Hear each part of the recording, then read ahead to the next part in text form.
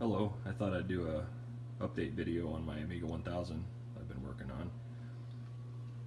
Since the last video, I've picked up a drive and a bracket, and uh, actually all I really wanted was the bracket, but it came with the drive, so can't complain, I guess. I picked up a mouse, the proper mouse, and uh, the repair I did was I replaced this chip here.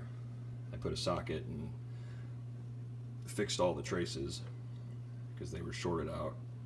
And uh, once I got that done, I put it all together and uh, I could get to the white screen, but it would just hang there. It would never, never move beyond it. So I pulled all the chips out. They could be pulled from a socket, and I have some of this stuff here. It's called Deoxit, and it's really good stuff. It's for deoxidizing the pins. I cleaned all the pins off.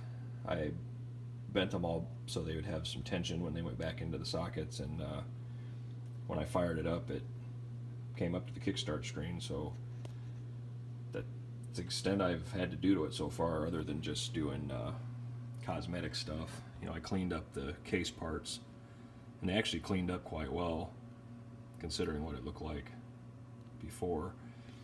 But uh, the way I'm getting video to my monitor, I got a 17 inch Dell monitor, is I bought a uh, one of these GBS 8200 boards off of eBay. You can get them for less than 20 bucks. And uh, for the price, I you know I really can't complain.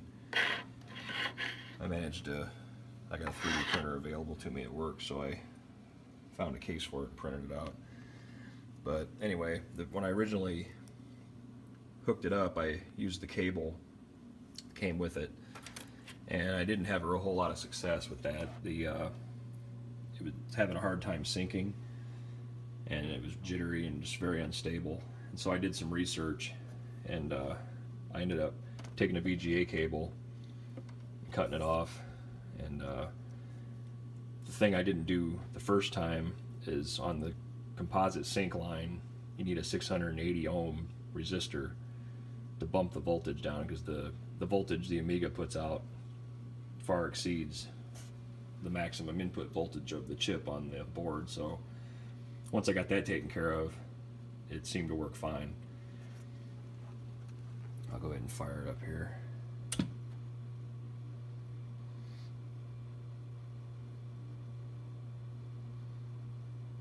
It's amazing how long the delay initialize it was. There's the noise. And then uh, got my kickstart. The dog thinks it's great.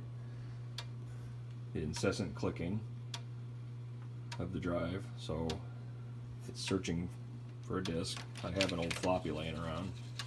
It does actually try to look for the kickstart.